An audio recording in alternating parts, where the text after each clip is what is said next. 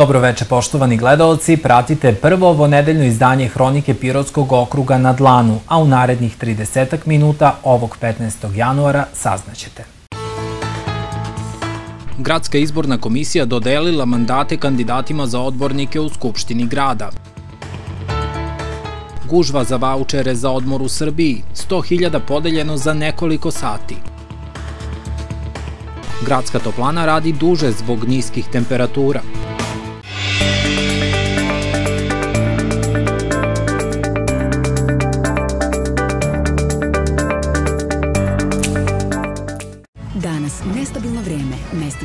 Kiša, pljuskovi i grmljavina, popodne razvedravanje.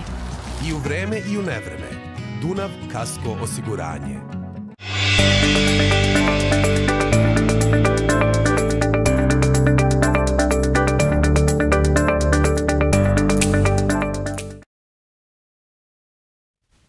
Na početku hronike političke teme. Gradska izborna komisija dodelila je mandate kandidatima sa izbornih lista na osnovu ostvarenih rezultata na lokalnim izborima 17. decembra. Lista Aleksandar Vučić Pirot ne sme da stane u novom sazivu lokalnog parlamenta imaće 29 od 56 mandata. Izborna lista Pirot protiv nasilja imaće 20, Ivica Dačić premijer Srbije 5, a lista Ujedinimo Pirot Poks Zavetnici 2 mandata – Prema rečima predsednika Gradske izborne komisije Jovana Milenkovića, ukoliko bude prigovora, ponovo će zasedati komisija do donošenja konačne odluke.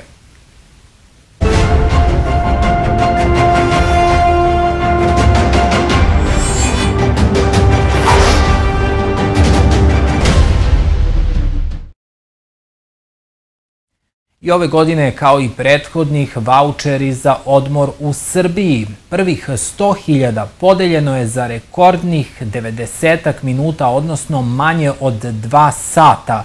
Veliko je interesovanje građana koji se već nadaju da će kao i prošlih godina biti dodatnih tura vouchera tokom godine.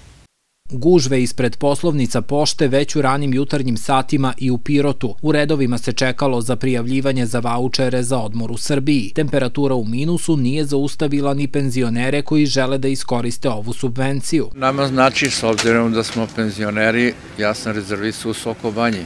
Pa ako bude drugi krog, vidjet ćemo, možda neka druga banja. Idem u Vrajansku banju godinama, 5-6 godina idem i ovi voucheri mi mnogo znače, ali da se reguliše ovo malo na bolji način za nas penzionere. Sokobanje. Pa znači da skupo je, hrana je naša, prenoćište tamo imamo. Znači i vazduh i promjena i terapija i tako. Srpsku banju Gornja Trepča. 20 dana na rehabilitaciju, tako da jako puno znači ovi voucheri. Spremili ste već dokumentaciju, da, imate da, da, rezervaciju? Sve, sve spremno, samo još da se čekamo ovu gužvu.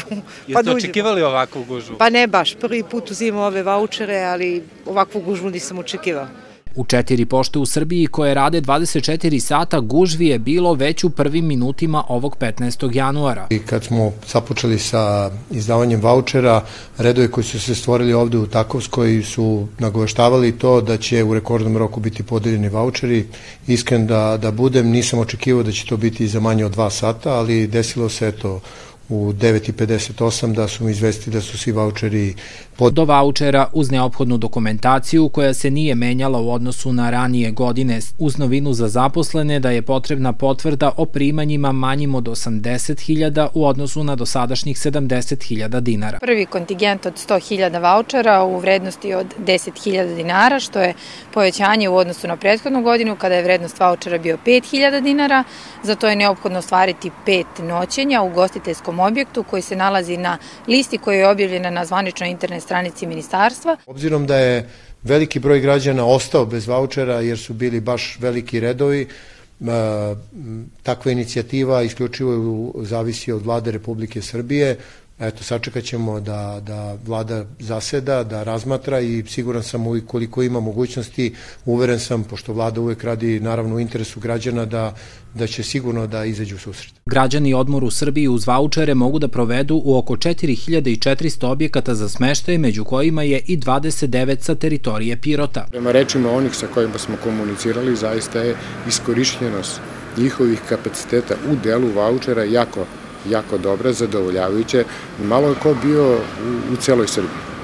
i uvek vredi nešto videti, svaki kraj ima neku svoju znamenitost, neku svoje posebno skriveno mesto, neku svoju kuhinju. Mi smo, eto, kao grad po mnogo čemu poznati, tako da zaista postajemo interesantni i zimbileti. Iz Ministarstva turizma i omladine navode da je ova mera omogućila i pronalaženje novih turističkih lokacija i razvoj ove grane privrede i u sredinama u kojima to do sada nije bio slučaj. Vaučeri mogu da se iskoriste do 20. novembra, kažu iz Ministarstva turizma. A da li nas je iznenadila zima u januaru posle onog pravog proleća krajem 2023. godine? Pa to zavisi od osobe do osobe, ali niske temperature su nešto što je e, činjenica zbog tih niskih temperatura u poslednjih desetak dana Pirotska gradska toplana radila je produženo, potvrđuje i direktor ovog preduzeća Bratislav Ćirić. Kaže da sistem funkcioniše bez problema i da do kraja grejne sezone ima dovoljnih količina komprimovanog gasa koji je primarni energent Pirotske toplane. Napolju je, mora se priznati, izuzetno hladno, nije zima onakva na kakvu smo navikli, nekako drugačije bez snega, temperature posljednjih dana u minusu i upravo pitanje e, proizilazi iz toga. Da li produženo radi to plana posljednjih dana, gospodine Ćiriću, hvala na vremenu i prilici da porazgovaramo. E, nemamo onaj, onaj režim rada tokom praktično non stop, 24 sata, ali produženo sa sigurnošću da.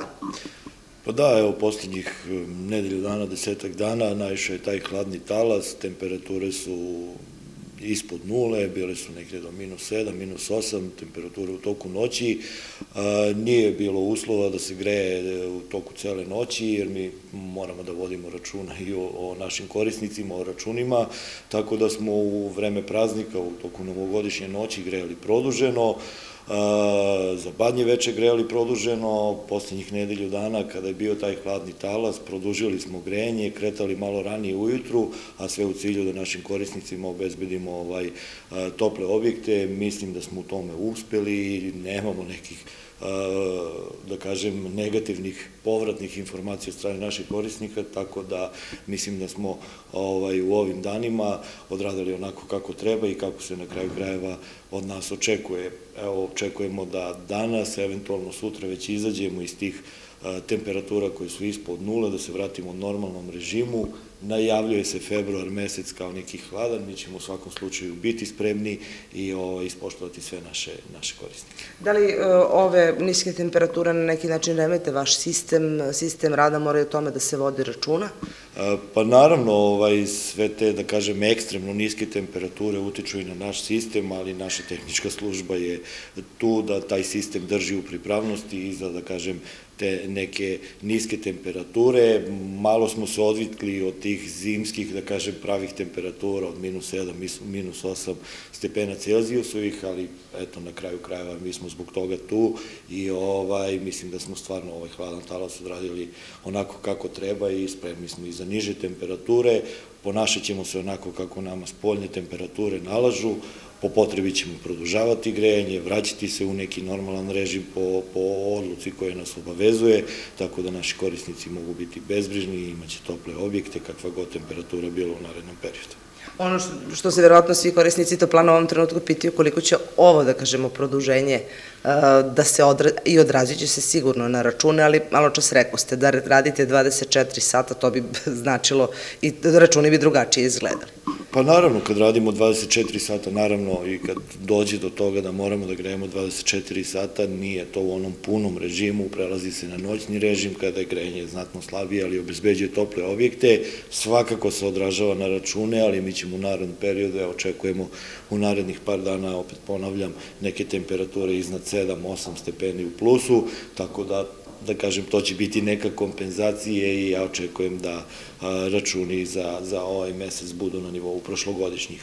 Naravno, ukoliko dođe do ekstremnih temperatura, najbitnije u svemu tome da, da naši korisnici imaju tople objekte, a onda, zavisnosti od visine računa, ako to bude nešto ekstremno, mada ja ne očekujem, ovaj, smislit ćemo neki način, da ćemo neko odloženo plaćanje ili nešto u tom smislu. Uglavnom, tu smo za naše korisnike, da s njima dogovoramo oko svega i oko grejanja, naravno i oko izmirenja njihovih računa. Koliko danas e, i u ovom trenutku korisnici usluga, vaših usluga koriste to, da kažemo, plaćanje na rate, tu mogućnost e, e, nekako mnogi su negde navikli da možda i u letnim mesecima plaćaju veće račune, one vraćaju se na onaj paušalni sistem jer je to možda i sigurnije i lakše im je tako da ne plaćaju visoke račune tokom zime? Pa, naravno, imamo, da kažem, različite tipove korisnika, imamo korisnike koji koriste da, da plaćaju grejanje unapred, odnosno da plaćaju u, u onom roku koju, koji je propisan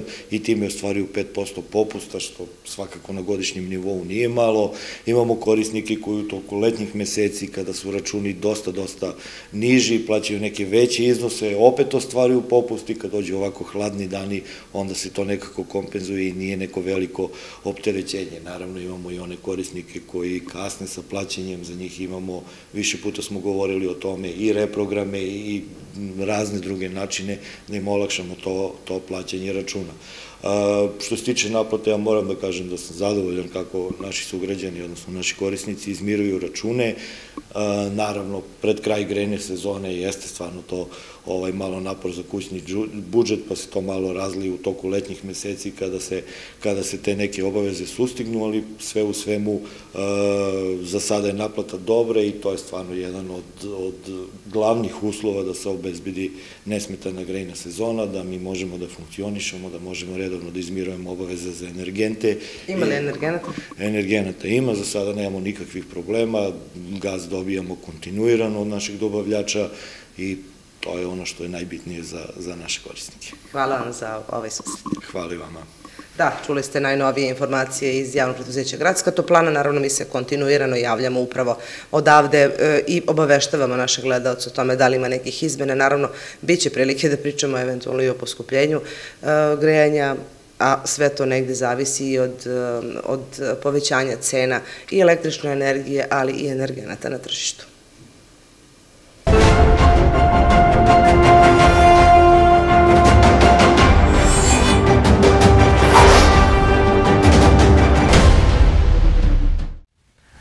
Tokom minule nedelje na teritoriji policijske uprave Pirot dogodilo se šest saobraćajnih nezgoda u kojima su dve osobe zadobile lake telesne povrede. Policija apeluje na vozače da prilagode brzinu kretanja vozila i da budu oprezniji poštujući sva saobraćajna pravila. Pratite Hroniku okruga. U vreme praznika i posle prazničnih dana smanjen je broj jedinica krvi, a potrebe su neretko veće. Zato akcije dobrovoljnih davanja krvi ne prestaju. Prva je u Pirotu održana u 2024. godini baš u prvim danima ove godine, a naredne redovne biće održavane kao i do sada utorkom. U planu nam je e, da nastavimo kao i do sada, znači svakog drugog, trećeg, i četvrtog utorka u mesecu u vremenu od 8 e, do 15 časova u Jevrejskoj ulici se organizuju akcije dobrovoljnog davanja krvi. Kako je saradnja sa Zavodom za transfuziju krvi iz Niša? Za sada imamo odličnu saradnju, e, ne, nemamo nikakvih problema, dogovaramo se oko svega i ovo je upravo tako i dogovoreno da se nastavi po starom, odnosno kako je bilo do sada, tako i da nastavimo, jer su naši građani već navikli na te termine tako da to ide dobro. Crveni krst Pirot se nalazi među tri e, grada koji imaju najviše davalaca po, u odnosu na broj stanovnika i to nam je u planu da nastavimo i ove godine. Rekli ste već bila je prva akcija, kakav je bio odaziv? Odlično ide. Kažem vam, bez obzira što su praznici, trenutno je nedostatak krvi do duše na teritoriji cele Srbije, jer je zima, vremenski uslovi su takvi kakvi jesu A i ovim putem želela bih da pozovem naše građane da se odazivaju akcijama, jer je krv stvarno potrebna u ovom momentu.